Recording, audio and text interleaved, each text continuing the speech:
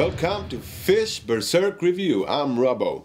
Savage Gear is the first company ever to combine 3D scanning and 3D modeling in the quest to produce a perfect lure in both appearance and swimming action. The 32 cm 3D herring shad is made out of a 3D scan from an actual fish. This makes it more precise than any handcrafted mold and this technology allows Savage Gear to include details that are lost when recreated by hand. This is one of the most lifelike herring shads on the market. It is 32 centimeters long, it weighs 230 grams and is designed to swim with a great side flash and rocking motion. You will be totally amazed with the amount of details on these jigs. The enticing swimming action, both on steady retrieves and on the drop, produces a perfect escape pattern, tricking even the most wary predator to attack.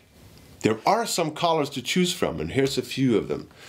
Also, matches perfect the two sizes of the cutbait jig head, making this awesome for vertical fishing. Pike, halibut, codling, you name it. If you want to increase your hookup rate, I would recommend that you use these ones.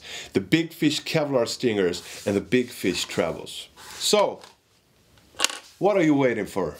Try them. Thanks for watching Fish Berserk Review. See ya!